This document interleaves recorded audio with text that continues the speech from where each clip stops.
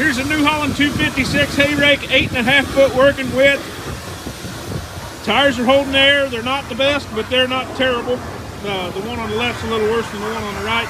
Gearbox is tight. Both sides are driving as far as the drive dogs in the in, down by the wheel. They're in the drive hub. Uh, decent looking old rake. Jack and hitch.